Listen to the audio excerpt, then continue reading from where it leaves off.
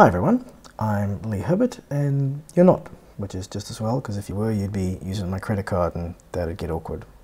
So I wanted to show you how I color corrected this footage that I recorded this morning of my brother um, in S-Log 2 off of my A7S. So here's all the basic footage that I've got in here and you can see that having been shot in S-Log it's pretty flat. So we want to add a bit of, bit of color, a bit of pop to it. Uh, to begin with I'm just going to mute my audio. So I'm just going to select my audio and click on V to mute it because we don't need to listen to the audio and come over and put my playhead over in the bottom left hand side here over my first clip and select the clip. I'm then going to go into my color corrector and my inspector and you can activate the inspector by clicking on command 4 to bring it up and get rid of it and then come over to my color correction and move to this little arrow where it says show correction. Now before I can do any color corrections I need to bring up my scopes which are going to give me a much better idea of what needs to be adjusted. The keyboard shortcut for that is command 7 so I click command 7 that brings up my scopes. And already I'm on my waveform here. And you can see that over at 100 I'm not particularly close to that. I'm not particularly close to 0 so I need to give myself more room to move. So I'm going to come over to my color corrector over on the right hand side of the screen and I'm just going to pull my highlights up until they get a little bit closer. Now you can see I do have a little bit of peaking over above 100 but I'm not too worried about that in this shot. Then I'm going to go and take my shadows and pull them down so that they're closer to zero so that gives me a lot more contrast to work with. And then I'm going to have a play with my midtones and see kind of what sort of works with that. And if you look at the scopes and then you look at the image itself, that pretty much looks pretty good. Now I come back to my color corrector um, in the top right hand corner and I click on saturation. And you can go over to your scopes and say that you want to see the histogram that shows your colors a bit more, but to be honest, I just use visual cues in terms of how saturated I want to get the image. So I'm just going to pull all my saturations up on this one because with S-Log it's all pretty flat and then I'll adjust this accordingly when I get my colors sort of more accurate. And actually, just looking at that visually, I'm, I'm, I'm pretty happy with that.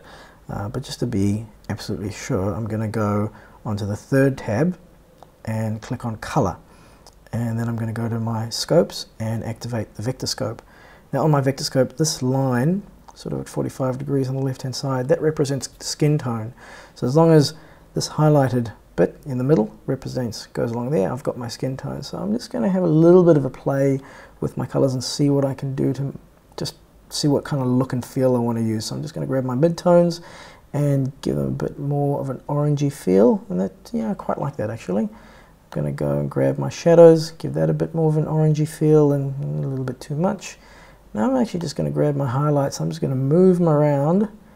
So it gives a bit of a reddish tinge, bit of a yellowish tinge, green tinge, bluish. I actually like this sort of bluish tinge. And that's kind of look that I'm happy with. Now, I could go and color correct each one of these individual clips, but instead what I'm going to do is I'm going to copy these, these color corrections and paste them as attributes into all of my other clips, see what it looks like because that sort of gets the basics done for me, and then make little tiny adjustments as I go along. So I'm going to select my clip, go Command C to copy, then select the clip that I want to paste those attributes onto, and I'm going to go Command Shift V, and I'm going to select color as the attribute that I want to paste. Click paste and voila, it's gone and updated that entire clip. And I'm just going to skim my playhead over that a bit. It's a little bit too dark with this one, so I'm going to go into my corrections and adjust that. I'm going to go Command 7 to bring up my scopes again and first of all we'll go and have a look at our waveform. Yeah, you can see right away on the waveform that everything's sort of crushed down at the bottom. So I'm going to go back to my exposure settings here and I'm going to pull my highlights up a bit, yeah about there, pull my shadows up a bit and actually pull my midtones down and pull my highlights up a bit more and that's more sort of the look that I'd like for this clip. So now I'm going to go across to the next clip, Shift Command V to paste attributes, select color, paste the attributes, and now let's have a look. And with this one, I'm actually happy with the way it looks right away.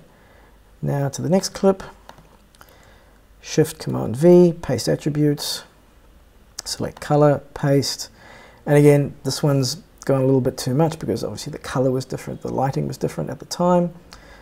So I'm going to pull the highlights up on that, pull the shadows down a bit, uh, pull the shadows up a bit actually, pull the midtones, and that's sort of more where I want it. And this is actually a little bit too too yellow, so I'm going to go back to my color and I'm going to pull my blue to give it more of a bluish tinge.